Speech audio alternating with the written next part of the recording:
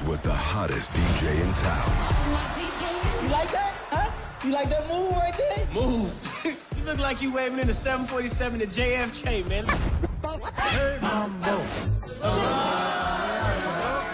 But before he could take a shot at his dream, Good.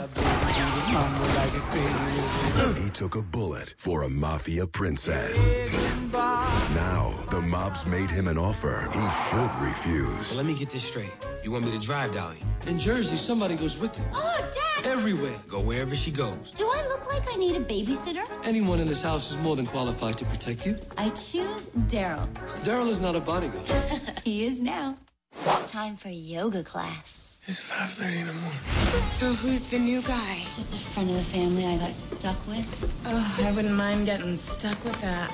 It's a very dangerous situation. And it won't be groupies coming at you, it'll be guys with guns. Oh, now this is it right here, Dolly. I'm telling you, chilling by the pool.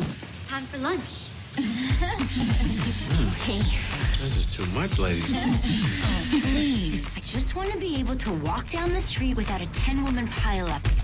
This fall, he's in with the family. I mean, what am I gonna wake up with a fish's head underneath my covers or something? That's a horse's head, man. You sleep with the. Yo, never mind. He's into the gig, He didn't even touch his brakes. Are You all right? and he's in way over his head. I heard black men can dance. Oh yeah, well I heard Italian women can get you in trouble. Party's over.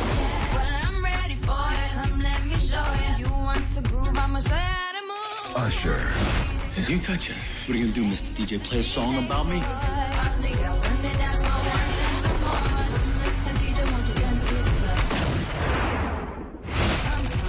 In the mix.